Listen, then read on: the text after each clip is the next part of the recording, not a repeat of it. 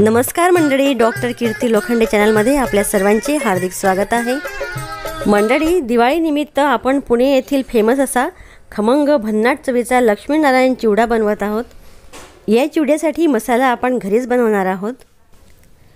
एक किलो जाड पोहे आणि पावशेर मक्याचे पोहे यासाठी आपण आणलेले आहेत.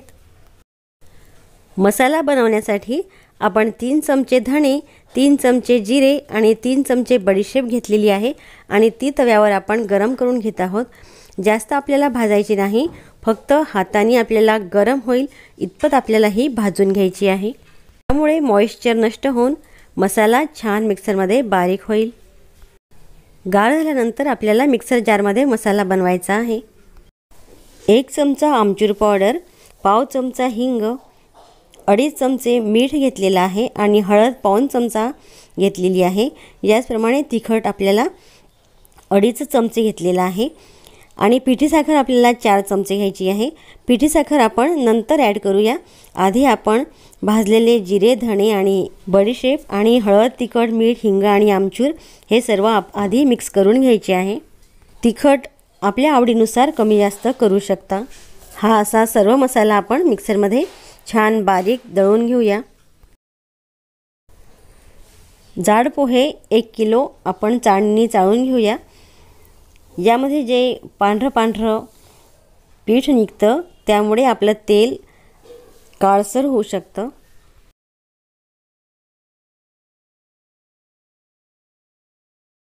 जे पोहे चाळून मी बाजूला ठेवलेले आहेत. पन्नास ग्रॅम खोबऱ्याचे पातळ काप बनवून घेतलेले आहेत. पन्नास ग्रॅम डाळ्या आणलेल्या आहेत. शंभर ग्रॅम शेंगदाणे घेतलेले आहेत. काजू बदाम हे प्रत्येकी तीस ग्रॅम घेतलेले आहेत आणि मनुके आपण पन्नास ग्रॅम घेतलेले आहेत.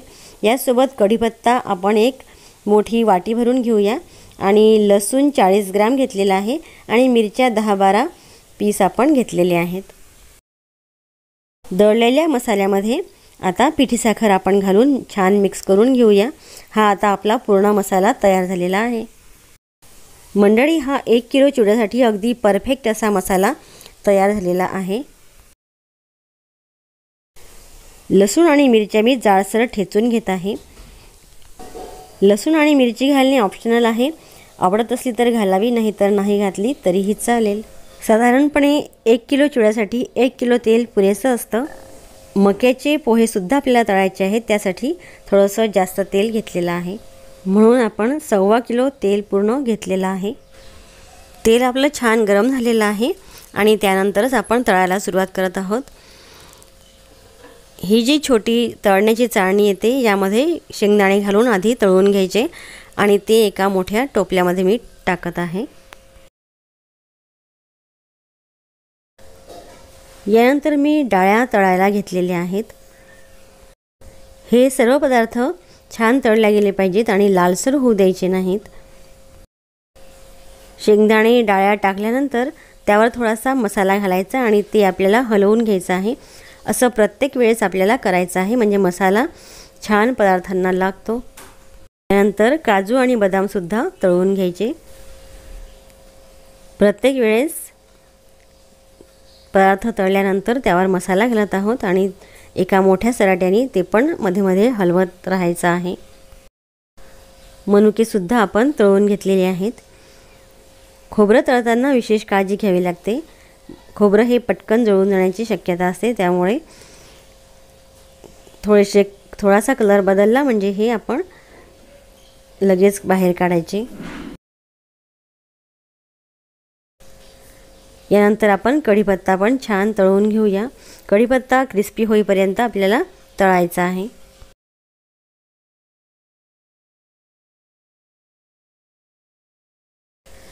यानंतर आपण आधी मका पोहे तळून घेऊया. मका पोहे तळल्यानंतर आपण जे साधे पोहे असतात ते पण त सर्व तळून घ्यायचे आहेत. मसाल्याची प्लेट बघा खालीच ठेवलेली आहे आणि एक एक चमचा मसाला या पोह्यांवर घालत राहायचा आणि एका मोठ्या सराट्याने ते हलवत राहायचं आहे. या अशा पद्धतीने मसाला पूर्ण चिवड्याला खूप छान लागतो. मंडळी याआधी मी अनारसे कसे तयार करायचे याचा व्हिडिओ अपलोड केलेला आहे. नक्की नक्की बघा. याच प्रकारे सांजोऱ्या कशा करायच्या शेव कसे तयार करायचे आणि शंकरपाळे कसे तयार करायचे याचे पूर्ण व्हिडिओची लिंक डिस्क्रिप्शन बॉक्समध्ये देत आहे. त्याचप्रमाणे काजू कतली आणि जी शेंगदाणा कतली असते ती पण कशी तयार करायची याचे पण व्हिडिओज मी तयार केलेले आहेत. ह्या दिवाळी रेसिपीची पूर्ण व्हिडिओची लिंक मी खाली डिस्क्रिप्शनमध्ये देत आहे. मंडळी व्हिडिओ आवडल्यास लाईक करा शेअर करा आणि सबस्क्राईब करायला कृपया विसरू नका. आणि तुमचे बहुमूल्य मत कमेंट बॉक्समध्ये नक्की नक्की लिहा. पोहे तळून झाल्यानंतर लसूण आणि मिरचीची आपण जो ठेचा बनवलेला आहे तो आपण तळून घेत आहोत. आधी जर तळला तर तेल खराब होतं आणि तेलसुद्धा तिखट तिखट असं होतं. ही जी पेस्ट आहे ही छान क्रिस्पी अशी व्हायला हवी. तरच ही चिवड्यामध्ये छान लागेल. जर थोडीशी ओलसर राहिली तर आपला पूर्ण चिवडा खराब होऊ शकतो. किंवा आपण ही एका वेगळ्या पातेल्यामध्ये किंवा कढईत आपण ही पेस्ट फ्राय करू शकतो. बघा लसूण आणि मिरचीचा असा जाळसर ठेचा छान क्रिस्पी असा झालेला आहे. चव चाखून मीठ आणि तिखट थोडेसे ॲडजस्ट करून घ्यावे. आणि आपला अगदी भन्नाट खमंग चवीचा लक्ष्मीनारायण चिवडा तयार झालेला आहे. परत भेटूया पुढच्या व्हिडिओत तोपर्यंत हेल्दी खा आणि हेल्दी रहा. बाय